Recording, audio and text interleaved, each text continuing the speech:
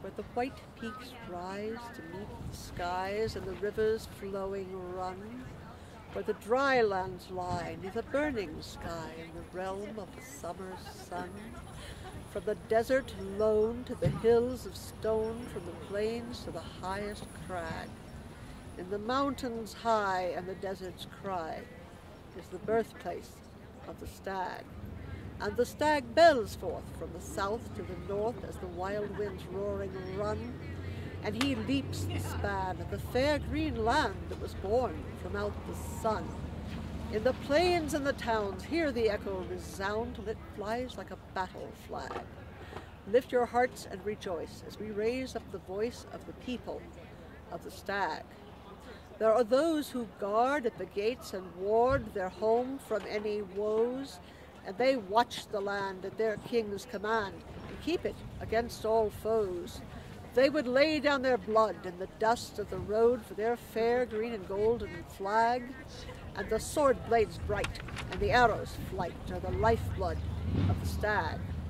There are those who toil for the good of all with honor their only prize. And they do all they can, and their works and their plans are the best that they can devise. Through the nights they awake, and their pains they will take, and they work without let or lag. There are roots in the soil, and their fair honest toil is the heartbeat of the stag. And the stag bells forth from the south to the north as the wild winds roaring run, and he leaps the span of the fair green land that was born from out the sun. In the plains and the towns, hear the echo resound till it flies like a battle flag. Lift your hearts and rejoice as we raise up the voice of the people, of the stag.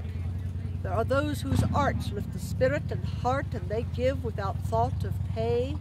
For their songs fill the land, and the works of their hands bring a splendor to our day. They exert all their will for to sharpen their skill, to bring honor upon their flag and the gifts they impart from their hands and their hearts are the spirit of the stag.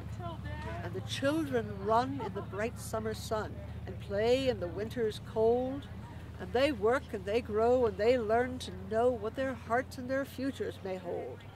They must ever be sought and protected and taught as they reach for their own high crag. They're our dawning day, for we know that they are the future of the stag.